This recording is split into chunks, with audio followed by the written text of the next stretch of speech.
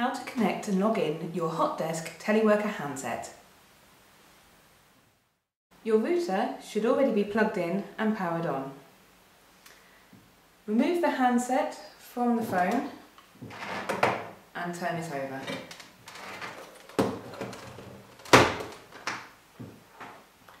And then connect a patch cable from point 1 on your power brick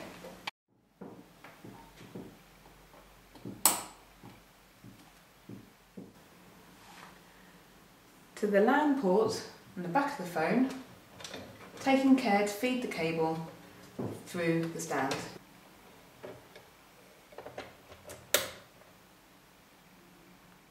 And then turn the handset back over.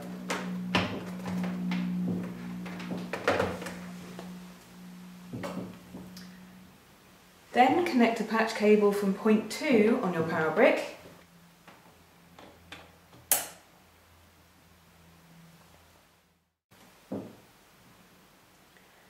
to a spare port on your router.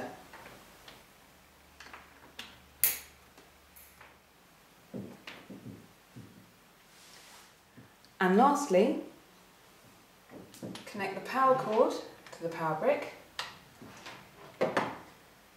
and plug into a wall socket.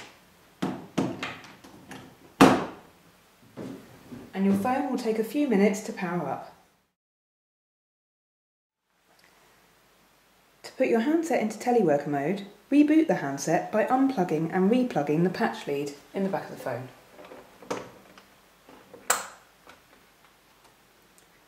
Press the number 7 straight away and keep it pressed until the words config teleworker appear on the screen.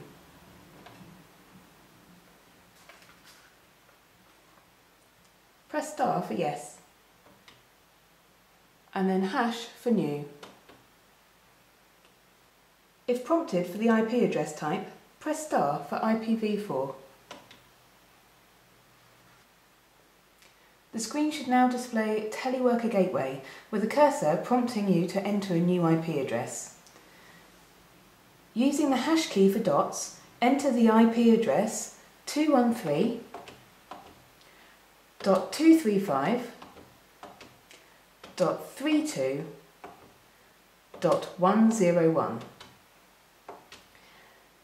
If you make a mistake entering the address, use the star key to delete.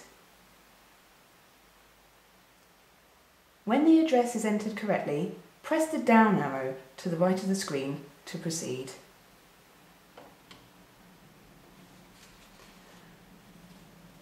Press star to select yes. The screen will display storing to NVRAM for a few seconds before rebooting.